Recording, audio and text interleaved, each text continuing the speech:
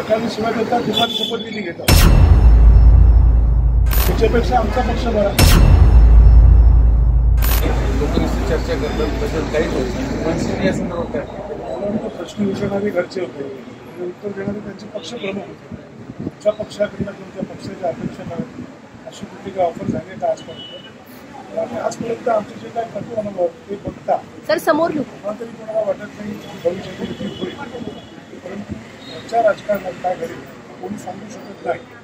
आणि एक गोष्ट नक्की की आम्हाला समजा राजसाहेब ठाकरे जो आदेश देतात तो आम्ही महाराष्ट्र सैनिक अत्यंत त्याच्यावरती काम करतो आणि त्यांच्या आदेशाचं पालन करतो. सध्या तरी आता जे काय तुमच्या माध्यमातून ऐकलेलं आहे तुमच्या पक्षाकडनं किंवा पक्षाच्या नेतृत्वाकडनं अशी कुठल्याही प्रकारची चर्चा नाही. त्यामुळे आता याच्यावरच भाषा आम्ही करू शकतो. आता जे राजकारण चालू आहे ही बारा कोटी जनतेची चेष्टा आहे.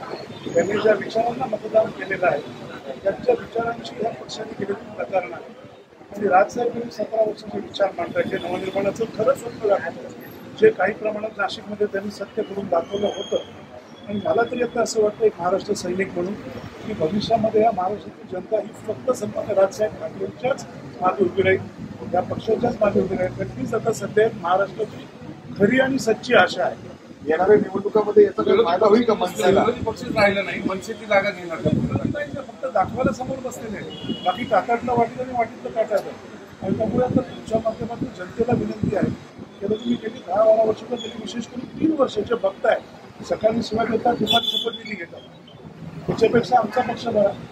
आम्ही निदान लोकांचे प्रश्न रस्त्यावरती उतरतोय. लोकांना न्याय द्यायचं काम राजसाहेबांच्या माध्यमातून करतोय.